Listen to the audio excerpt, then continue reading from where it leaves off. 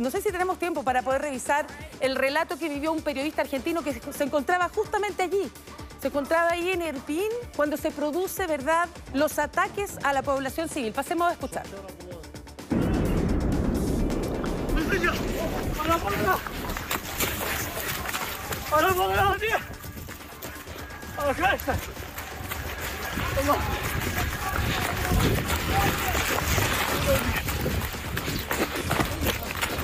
El cartel que indica que está en la entrada de Irpin. Ahora voy a mostrar directamente, esto es la ciudad donde está sucediendo el, enfrentamiento. Escuchan permanentemente, está sucediendo el enfrentamiento entre los rusos y los ucranianos.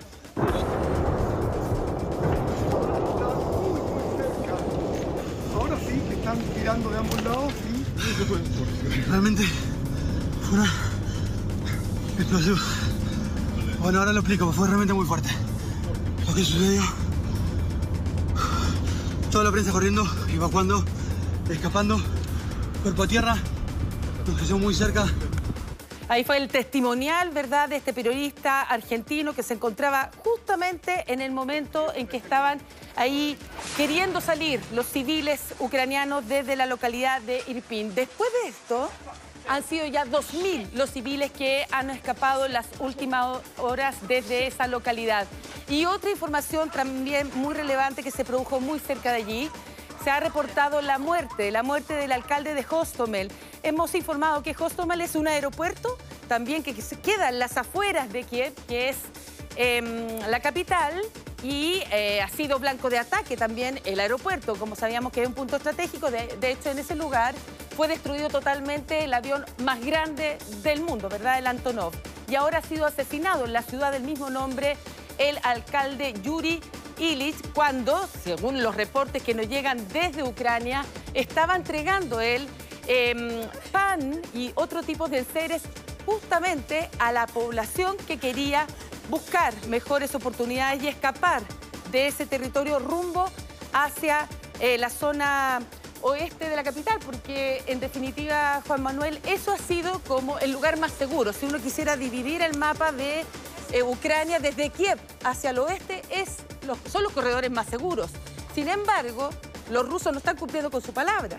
Este es un eh, punto porque ayer Vladimir Putin, que tuvo una conversación con el presidente francés Emmanuel Macron, quien está intentando mediar en este conflicto, Putin decía, según reveló el propio Macron, que él acusa a Ucrania de no ser quien está eh, eh, cuidando estos corredores humanitarios para que la gente pueda salir. Entonces, la verdad es que aquí no sabe quién está mintiendo y quién está diciendo la verdad.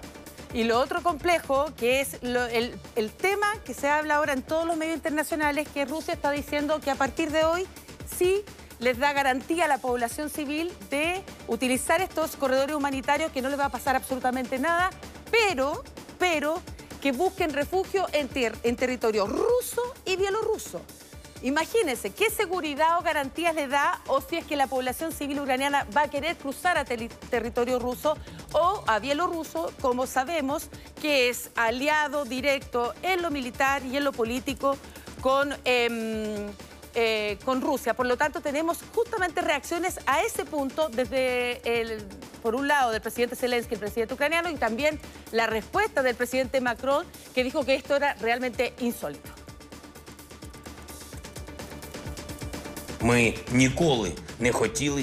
Nunca quisimos esta guerra, pero nos la han traído. Nunca soñamos con matar, pero tenemos que sacar al enemigo de nuestra tierra y de nuestras vidas. Tenemos que soportar lo que ningún otro pueblo europeo ha visto en 80 años. Y se está determinando en nuestra tierra si alguien más en Europa será víctima de la misma agresión. Si la invasión continúa y Rusia no ha abandonado sus planes contra Ucrania, entonces necesitamos un nuevo paquete de sanciones, nuevas sanciones, nuevos movimientos de sanciones contra la guerra por la paz. Los corredores humanitarios permiten la posibilidad de que salgan las mujeres y hombres. El Kremlin aboga por corredores humanitarios hacia Rusia. No conozco a muchos ucranianos que quisieran buscar refugio en Rusia. Eso es hipocresía. Todo esto no es serio, es cinismo moral y político.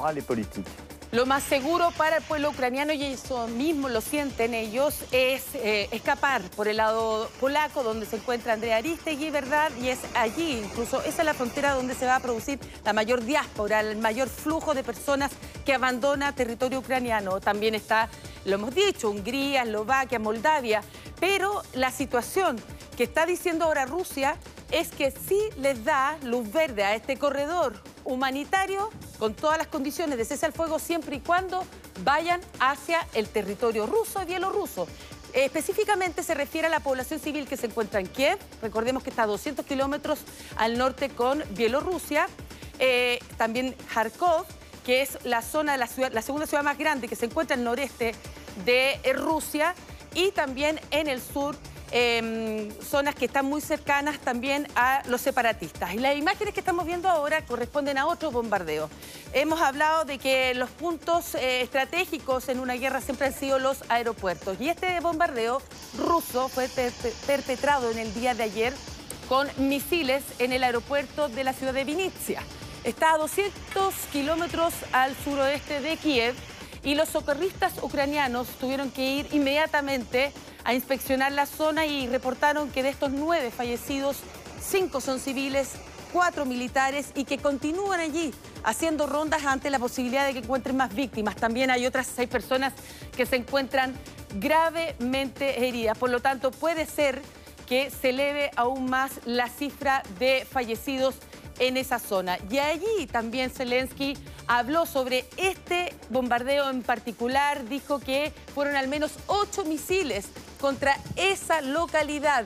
De hecho, hay un informe ya de los Estados Unidos que habla que eh, desde que comenzó el ataque ruso sobre territorio ucraniano, ya hay más de 600 misiles que ha lanzado em, eh, Rusia en territorio ucraniano. Eso es cualquier cantidad, cualquier cantidad y sobre todo aún más cuando se está hablando de la situación de, los, em, de las víctimas civiles, porque los blancos de ataque, eso es lo que más se ha cuestionado em, Juan Manuel, es que los blancos primero eran estratégicos, estamos hablando de más de 100 bases militares, también vimos las torres de televisión, por ejemplo, de Kiev, los aeropuertos, eso es parte del teatro de operaciones de cualquier conflicto bélico, lo hemos visto por lo menos desde mi experiencia el 2003 en Irak, pero ahora la verdad que los los blancos o francos rusos apuntan específicamente a la población civil. Hemos visto en grandes ciudades, apuntan a las universidades, colegios, guarderías, ¿Lo están haciendo edificios. ¿con qué, objetivo, Marian? Porque uno podría entender que eh, ciertos lugares civiles eventualmente podrían tener, eh, sin embargo, un valor estratégico militar para el país atacado. Es decir, que en ese lugar eventualmente, no sé, oficinas de telecomunicaciones, por ejemplo. Pero no es el caso. Una universidad, un colegio, se está terminando eh, de convertir en un refugio y por lo tanto aquí pareciera que los ataques son derechamente a los propios refugiados. De alguna manera minando, por decirlo así, destruyendo la moral de la propia población que está todavía defendiendo el país atacado por Rusia siempre se apunta a la desmoralización. Y lo que ha hecho el presidente Zelensky es todo lo contrario. Él no habla una o dos, y lo he dicho acá, sino más de tres veces al día, con esa arenga de, que se resistan, se resistan a todos estos bombardeos em, que ha perpetrado eh, Rusia. Y en ese contexto hay otro, otro asunto bastante particular que hemos visto respecto a las reuniones de las delegaciones ucranianas y rusas que están en estos momentos reunidos, ¿verdad? Y ahí vemos la imagen uno en particular. Si usted se fija, en rojo, ese es el negociador ucraniano. Fue asesinado. El, negociador ucraniano se llama Denis Kirev, tiene 45, tenía 45 años de edad y dice que fue asesinado por traición. Lo que pasa es que se sabe que esta persona es muy cercana a los oligarcas rusos, tenía mucha cercanía con el Kremlin, por eso muchos se sorprendían que estuviera allí en las reuniones desde el lado ucraniano. Eh, se distingue, bueno, en la fotografía ya pasó, por la banderita azul con amarillo en el lado derecho, son todos los negociadores ucranianos. Y él es el que lideraba justamente esta delegación. Y es por eso que asiste a la primera, asiste a la segunda y luego es encontrado muerto en una calle de Kiev. Por lo tanto, eh, los primeros informes indican que fueron que fue asesinado por ucranianos porque lo consideraban, ¿verdad?, una persona que no era representante para negociar por su país. Todo lo contrario, lo consideraban un traidor. Y ahora se ha reportado que ha fallecido. Esta negociación que se está desarrollando en estos momentos en Bielorrusia es larga, se extiende por varias horas. eh, nuevamente va a ser un punto muy complejo porque el presidente Vladimir Putin no quiere ceder. Él dice que la única forma, que fue lo que le pidió anoche Emmanuel Macron durante una hora 45 minutos que estuvieron hablando por teléfono, era que cesara los, eh, el fuego, ¿verdad?, en Ucrania. Sin embargo, lo que ha dicho Putin, no voy a ceder. Si primero se tienen que desmilitarizar en Ucrania, darme las garantías de que efectivamente no se va a sumar Ucrania a la OTAN, que reconozca, que reconozca la soberanía rusa en, la península de Crimea, en el sur, y también de la región de Donbass. Puntos que evidentemente, esos dos últimos sobre todo, no son reconocidos en ninguna parte del mundo. Por lo tanto, va a ser muy difícil que de aquí, en esta tercera ronda, salga bueno. O sea, básicamente lo que dice entonces el presidente ruso Vladimir Putin es, para eh, un alto al fuego definitivo, Ucrania tiene que, tiene que eh, de todas maneras dar garantía de estas tres condiciones, cumplirlas. Uno, eh, que sea un país neutral, es decir, que no forme parte de la organización del Tratado del Atlántico Norte, que es esta organización militar que surgió post Segunda Guerra Mundial para defender a uno y otro lado del Atlántico a los países al que se han venido sumando, sin embargo, después naciones que antes fueron parte de la Unión Soviética. Ucrania no es parte de la OTAN, ha pedido ser parte de la OTAN y eso para Rusia es inaceptable. Segundo, que reconozca que Crimea que Rusia invadió el 2014 en realidad es territorio ruso y no ucraniano. Exacto. Que es un gran debate a nivel internacional. Y tercero, que estas regiones teóricamente que se quieren declarar independientes sean reconocidas como tal por Ucrania, que son regiones de ese país. Se ve imposible que el presidente ucraniano quiera aceptar esas tres condiciones a cambio de un alto al fuego. O sea, este conflicto podría durar mucho tiempo. Por eso se habla que justamente lo que te iba a decir, es, es un conflicto que no va a durar semanas ni meses, incluso se podría estimar hasta años, porque cuando lo que quiere Rusia no solo es cercar el país, sino que cercar a Kiev, cuando se cerca o se eh, colocan, que ya están apostados, ¿verdad? Los tanques no han ingresado al corazón de Kiev, pueden estar años, y eso pasó en Sarajevo, pueden estar años sitiados. Lo que se busca eh, con los corredores humanitarios es sacar toda la población civil lo máximo que se pueda, porque quienes se quedan para el enemigo es un combatiente ucraniano, por lo tanto les disparan. O sea, ya no, no corre la, la idea de que son civiles. Ahí ya es visto después de los corredores como un combatiente, un enemigo y por lo tanto les dispara. Ese es el argumento que podría estar eventualmente eh, eh, calculando, más que esgrimiendo públicamente, pero calculando Vladimir Putin para atacar a población civil, que a Rusia le cuesta identificar eh, quién es militar de quién no lo es, porque hemos visto que el propio presidente ucraniano ha asusado a su propia población a que se arme para defender el país y por lo tanto Rusia dice, perdón, pero yo no sé contra quién estoy combatiendo, porque combato contra militares, pero luego me encuentro con civiles también que me quieren atacar.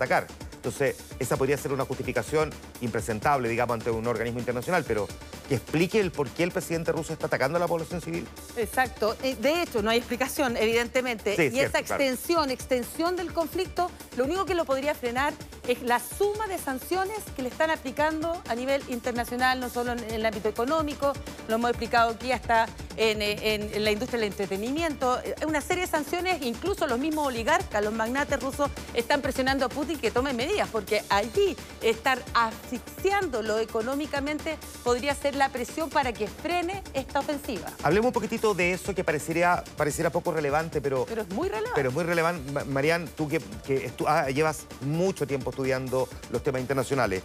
Oye, cuando uno dice ya, ¿sabéis que, no sé, Apple no va a vender más iPhone en, en Rusia?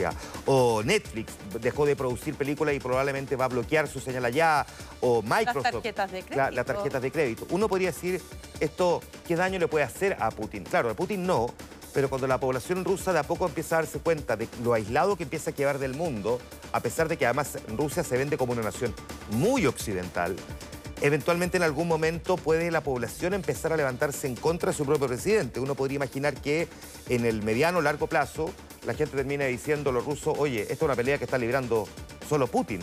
Ahora, la represión es feroz, porque sí se han alzado, de, hecho, en el día de ayer en 29 ciudades los rusos se alzaron y fueron a las calles a protestar en contra de este ataque a Ucrania y piden por la paz. Y fueron detenidos casi 5.000 personas solo en un solo día. Y a eso súmale no solo la represión que están enfrentando en las calles, porque no los dejan protestar, sino que también el llamado del líder eh, opositor Alexei Navalny desde la cárcel que le dice al pueblo ruso vayan y manifiéstense para que el mundo sepa que no es Rusia, no, no, es la población rusa la que está a favor de este ataque, sino todo lo contrario. Pero ahí está viviendo una represión tremenda el pueblo ruso, incluso están quemando sus pasaportes porque les da vergüenza ruso en las condiciones en que está este conflicto. Vamos inmediatamente a ver el teatro de operaciones em, de hoy en Ucrania. Todas las manchas de color rojo es donde ya está apostada completamente la ofensiva em, rusa. Eh, lo hemos visto en el norte, aquí está Kiev, la capital, solo a 20 kilómetros Irpin. Este es el corredor humanitario que vimos recién, donde se produjeron los eh, eh, bombardeos y ataques directos a la población civil que quería escapar a lo más seguro. Lo más seguro es arrancar por este lado em, hacia Polonia, donde se encuentra uno de nuestros equipos. Se encuentra aquí y otro equipo lo tenemos acá. De hecho, aquí la diferencia es de solo 90 kilómetros de distancia. Por lo tanto, en ese corredor que era el más seguro de todos, ahí la población civil se vio completamente atacada. Luego viene Kharkov, donde están justamente muy cerca de la frontera con Rusia. Entonces lo que dicen los rusos, lo que dice Putin hoy, es que sí les, daremos la posibilidad de un cese al fuego, de que la, la población civil pueda escapar, pero que escape hacia Rusia, que escape hacia Bielorrusia. Y eso es lo que el Kiev el gobierno ucraniano dijo por ningún motivo. Y la otra ofensiva que es la más relevante hoy es la el sur de Ucrania, Tú lo decías, Juan Manuel, 2014, hace ocho años atrás, anexó Crimea, se hace un referéndum que es muy cuestionado y según la mayoría de la población dice, sí, queremos ser rusos. Sin embargo, ese referéndum no es reconocido en ninguna parte del mundo, solo en Rusia. ¿Qué buscaban los rusos? Estar en un punto estratégico, junto al Mar Negro. Por lo tanto, ahora la ofensiva que quieren los rusos ya abarca desde el este con los separatistas toda la zona de Mariupol, el norte de Crimea, hasta ahora Mykolaiv. Todo esto lo han tomado los rusos. ¿Cuál es su objetivo principal hoy? Odessa. ¿Por qué? Porque es la única forma, si conquistan esta ciudad portuaria, va, eh, Ucrania queda sin salida al Mar Negro, donde ya están apostados desde mucho tiempo los submarinos y los buques rusos para estar listos a cualquier ataque. Entonces esa es la complejidad del teatro de operaciones en el día de hoy. Ya, ¿existe la posibilidad de que en esta tercera ronda de negociaciones haya un acercamiento mayor? Lo pregunto porque en la segunda, cuando quedó esta idea de estos, lo voy a poner entre comillas, ¿no? Corredores humanitarios, todos entendemos lo que es un corredor humanitario, ¿no? una especie de, de, gran pasaje, pasillo, por el cual la gente puede escapar, teniendo la garantía de que por ese corredor no se van a generar ataques. Y sin embargo nos encontramos con una fórmula muy creativa de Vladimir Putin, decir, acordamos un corredor humanitario, pero sin dar la garantía de que el corredor no vaya a ser atacado. O sea, no existe corredor humanitario si es que el corredor puede ser atacado. Si no se cumplieron las condiciones mínimas del segundo acuerdo, ¿qué podría uno esperar de esta tercera reunión? La situación es que va a estar muy stand-by. No creo que haya un avance mayor. ¿Por qué? Porque ahora lo que está diciendo Ucrania no sería que está pidiéndole a China que medie en este conflicto. Y ojo con ese factor de China. Hablemos de China en un momento más. Tenemos a nuestra compañera Andrea Aristigui, que está en la frontera polaco-ucraniana. Con ella también